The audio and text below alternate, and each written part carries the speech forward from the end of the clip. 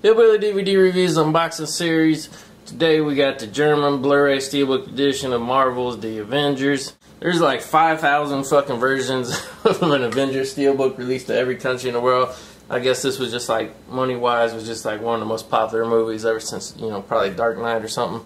Or Titanic, maybe, I don't know. But anyway, here's Marvel Avengers. I fucking hated this movie when I saw it in the theaters but everybody said I was wrong, that it was really good. I thought it was boring, one note. I thought the villain sucked, but everybody's like, no, no, no, it's so good. Robert Downey Jr. so witty, whatever. So now that I got the Steelbook, I'll pop it in. I'll watch it on the Blu-ray 3D there, see if it really is good or just if I was just right all along. But hey, all right, got the shrink wrap off, got the fucking little cardboard shit off. Here we go. I gotta fucking say, when I saw like the little preview pics and stuff, I thought this cover was kind of boring and generic. But now that I see it, you know, with the card off and really look at it, it's pretty fucking cool, man. I like it. It's, it's pretty fucking, you know, just sparse and cool and shit. It has like a pushed in border around here, which I don't really even understand. It's kind of fucking weird. It's kind of like, it has some kind of weird pattern in it where at first you think the border here is going to be pushed in, but only part of it is, but then like the the I don't know what you would call it, the lines and shit in the A is, is embossed, debossed, whatever. Kind of fucking neat. We'll give them credit. The spine's very cool. It's got all the Avengers characters on the side there. Very fucking nice little touch that you don't see on a lot of steelbooks. The back kind of kind of bare. Ugh. I don't know what it is when they seal these things up, but a lot of dust gets in there. I've noticed. On the back, just got very, you know, the shield symbol there, very sparse, very nice. Let's pop it open and look at the 3000 disc galore. Got some movie rewards.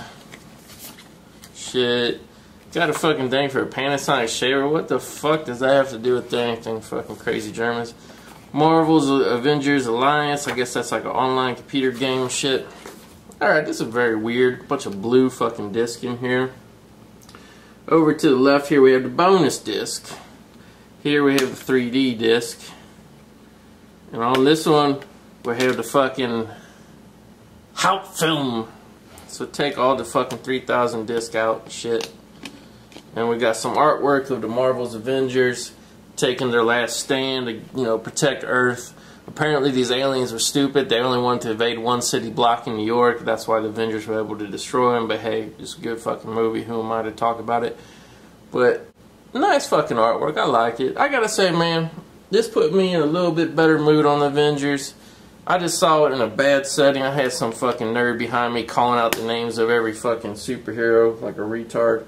This this artwork's pretty good, man. It puts me in a better fucking you know mood to give this movie a second chance. Uh, when I saw it in the theater, I just saw it with a bunch of corny. Oh shit! Somebody's car is getting stolen outside. Anyway, when I saw this in the theater, just a corny fucking crowd, and I, I admit Joss Whedon, kind of have to say fuck him with all his corny humor. It's not funny, it's really tired shit that you would see in sitcoms and shit, but the crowd was eating it up, you could barely hear the dialogue. Maybe sitting in my theater drinking a fucking beer, maybe I'll give Avengers a fucking better shot. Maybe not, maybe I'll still hate the fact that fucking features a very homoerotic villain fucking staring at a, a blue box for fucking two and a half hours. But hey, Marvel's Avengers, I ain't gonna say too much about it because the more I rag on it, the more you're all gonna fucking hate me and shit. But anyway, that's the Steelbook for German. Re really nice edition out of the 5,000 Steelbooks that came out for this. Marvel's Avengers got my seal approval, at least with the packaging. They did it up right.